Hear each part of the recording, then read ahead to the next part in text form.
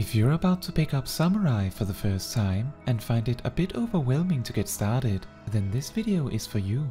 This guide will teach you how to play Samurai in Endwalker at level 50 specifically, including everything from weapon skills to abilities. This guide will not really cover role actions, as they do not directly affect your attack rotation in a meaningful way. However, take note that they are helpful defensively in each their own way when used situationally. Now then, let's start with your combos. You have three different combo sequences at level 50 with both similar and different uses. Whenever you finish a combo, or more precisely, correctly use the final step of your combo, you are given a Sen according to that combo. These Sen are unique, so doing the same combo twice in a row will not award you a Sen both times, unless you spend the Sen in between combos. We will cover what Sens are a bit later, let's focus on combos for now. Your first combo, Hakaze Jinpu Gekko, gives you a 10% damage bonus called Fugetsu, caused by Jinpu, as well as the Sen Getsu. Additionally, Gekko does extra damage when performed from behind your target. Your second combo, Hakaze Shifu Kasha, gives you a 10% reduction in weapon skill recast times, caused by Fuka from Shifu as well as the Sen, Ka. Additionally, Kasha does extra damage when performed from the side of your target. Your third combo, Hakaze Yukikaze, simply gives you the Sen, Setsu, and does not have a positional. The general rotation revolves around bringing both of your buffs up as quickly and efficiently as possible, and then keep refreshing them throughout the fight. Because the Shifu buff makes you attack faster, it is recommended to apply this one first, outside of cooldowns. I will explain what I mean by this a bit later. Focusing on just your weapon skills, this means that your opener in a fight could look something like this. Hakaze, Shifu, Kasha, Hakaze, Jinpu.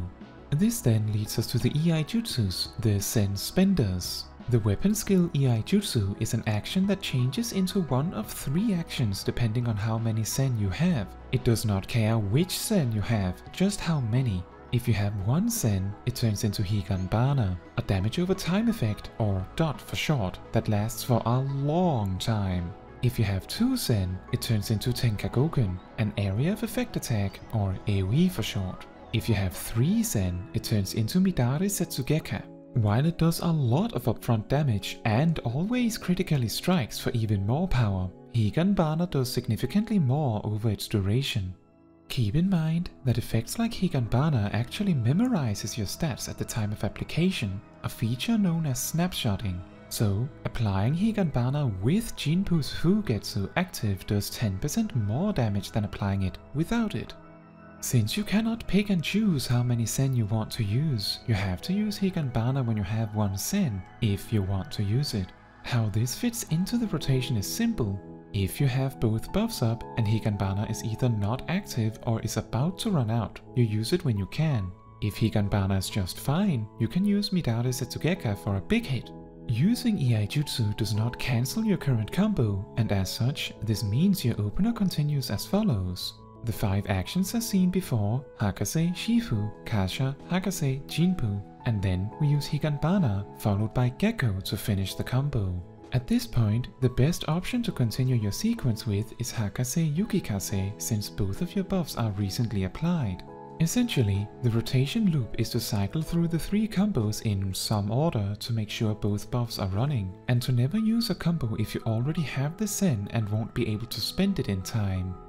To break up this sequence a bit, we have the ability Meikyo Shisui. It enables you to use any of your combo actions freely three times. More precisely, you can use Jinpu immediately without Hakaze, or more importantly, Gekko instantly without having to go through the two prior steps. Using these three actions does however break your existing combo, so try to only use this ability after finishing a combo sequence. The best way to use Meikyo Shisui is to only use the combo finishers with it, meaning Gekko, Kasha and Yukikaze. In fact, if you want to be the most effective, only use it on Gekko and Kasha. This is because they do the most damage and saves you the most time. Not to mention, Gekko and Kasha will apply the buffs associated with Jinpu and Shifu respectively when used during Meikyo Shisui, allowing you to skip that step entirely too.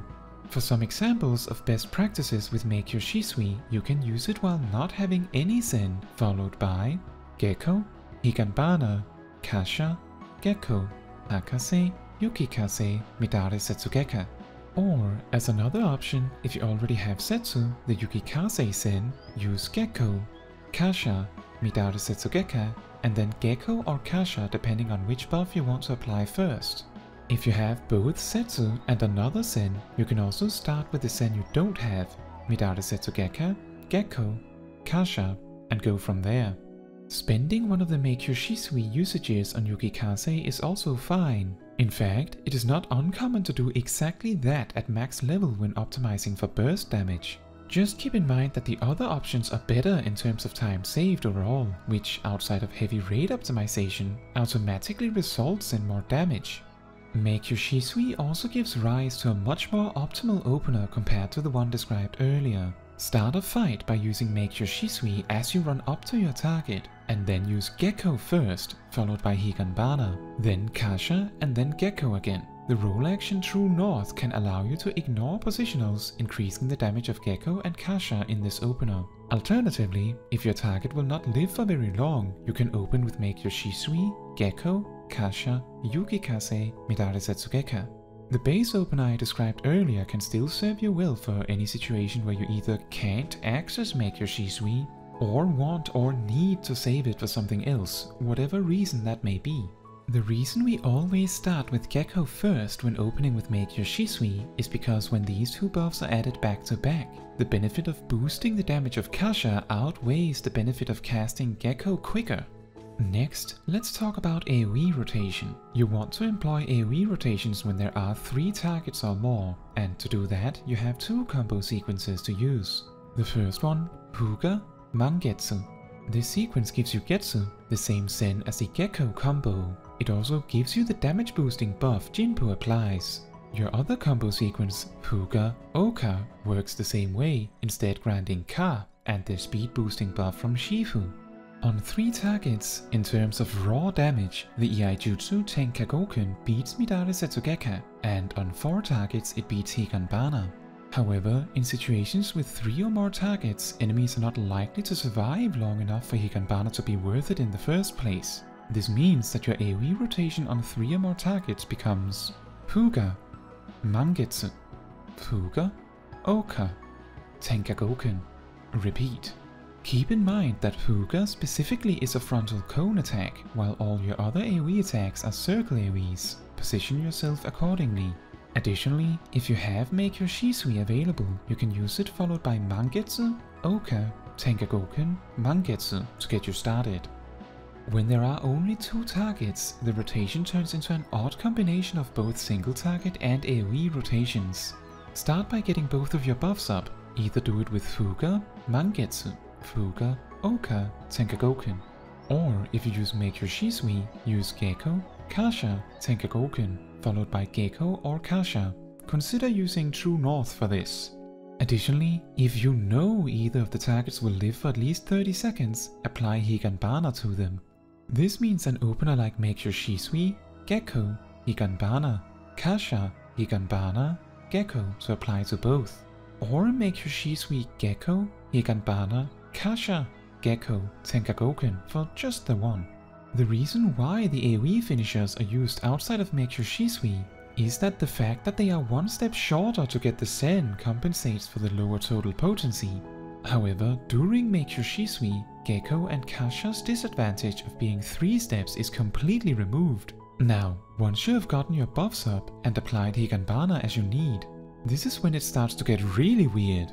Tenkagoken on just two targets is more effective than Midare Setsugeka due to dealing nearly the same damage, meaning the main benefit of Midare Setsugeka is its guaranteed critical strikes. This is not worth the effort of a full third sen though.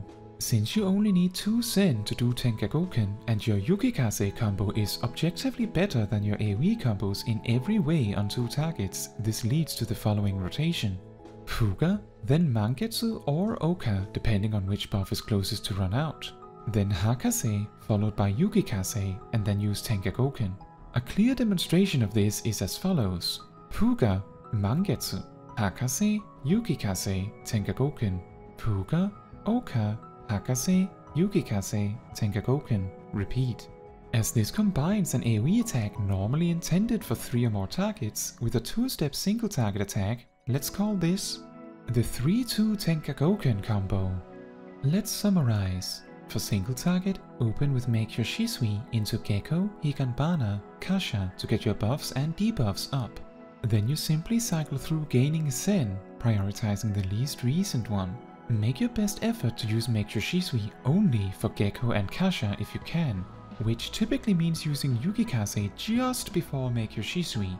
If you reach 3 Sen, use Midare Setsugeka.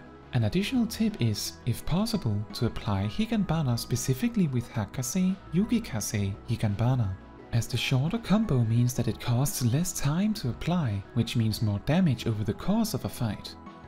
For two targets, you apply both buffs with Oka and Mangetsu. If either target will live long enough for Higanbana, make sure to use Mangetsu first for the damage bonus. Then move on to the 3-2 Tenka Tenkagoken combo, for 3 targets, you simply alternate between the Oka and Mangetsu combo and finish with Tenka Tenkagoken repeatedly. Remember, if you use Meikyo Shisui on 2 targets, use Gekko and Kasha in place of Yukikaze and AoE combo finishers during it. For 3 or more targets, using Meikyo Shisui simply lets you skip Fuga. To finish, let's take a short look at your defensive options, namely Third Eye and Enpi. Third Eye is a very weak 10% damage reduction for the first hit within 4 seconds. Once you unlock the Kenki gauge at level 52, successfully reducing damage with Third Eye will also give you 10 of this resource, worth around 100 potency and damage. Making regular use of Third Eye is really helpful, especially when alone.